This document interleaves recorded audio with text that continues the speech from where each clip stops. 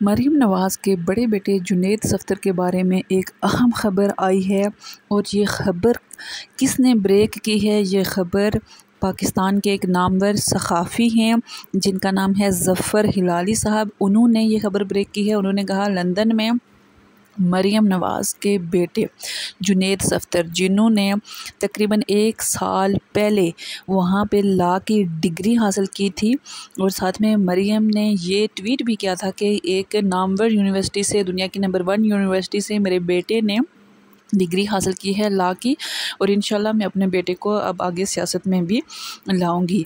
और इसके साथ साथ मरीम नवाज़ के मियाँ ने भी ये बात कही थी, अब ज़फ़र हलाली जो हैं, एक नामवर और बड़े आला पाए के वो सखाफ़ी हैं। उन्होंने कहा कि मरियम सफ्तर के बेटे जुनेद सफ्तर की जो डिग्री है, वो जाली निकली है और इस वजह से जाली डिग्री की बिना पर उन्हें लंदन में गिरफ़्तार कर लिया गया है।